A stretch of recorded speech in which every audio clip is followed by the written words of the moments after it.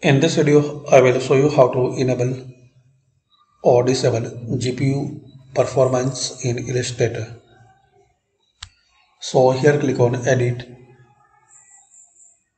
scroll down. In the preferences, select general,